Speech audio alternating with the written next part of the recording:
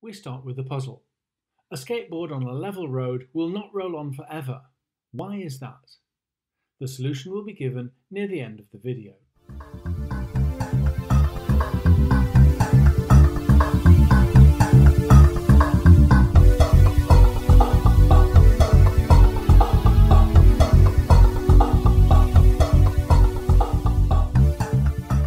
Welcome to this nothing nerdy video on Newton's first law of motion.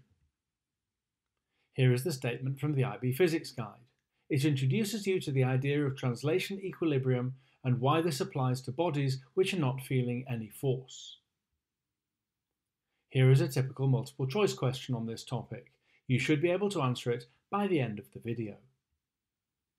Here is the definition of translational equilibrium. Translation here means movement in a straight line.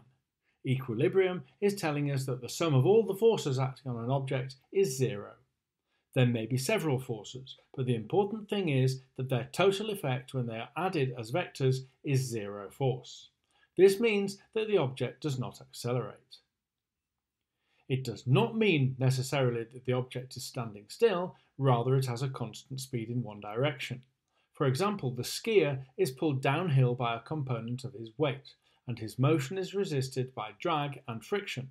The total force is zero, so he does not accelerate. Isaac Newton put this idea into one of his three famous laws of motion. Unless there is an unbalanced external force, a body will continue moving in a straight line. Or it will continue to stand still, which is a special case of movement in a straight line where its velocity is zero. Newton's first law gives us a definition for force, something which changes a body's velocity. To look at it the other way round, if an object is seen to be travelling at a constant speed in a straight line, we can deduce that the vector sum of forces acting on it is zero. Consider two situations of moving bodies. The first is a satellite orbiting the Earth following a circular path at a constant speed. The second situation is a body falling to the Earth at terminal speed. Is either of these bodies in translational equilibrium? First of all, the satellite is travelling at an unchanging speed, but its path is a circle. That means it is constantly changing direction and is therefore accelerating. We can deduce that there must be a force acting on it, pulling it towards the centre of the Earth. Therefore, the satellite does not have a translational equilibrium. It is experiencing an un external, unbalanced force.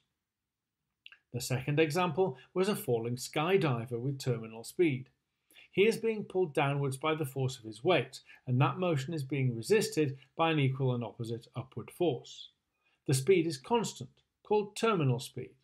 There is no acceleration because the net force is zero. Therefore, the falling body is in translational equilibrium. So a mass can only change its velocity if a force acts on it. Without an unbalanced force, you cannot change its speed or its direction of motion. This property of an object to keep on moving or standing still is called inertia. All masses have inertia, and the more massive an object is, the greater its inertia.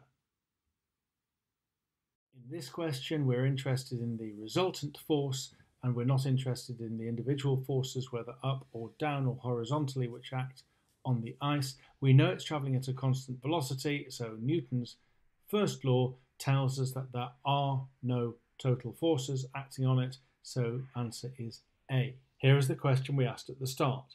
The skateboard will stop because of the action of an external force. Otherwise, according to Newton's first law, it would continue forever. The force which stops it could be friction or an interaction with another object.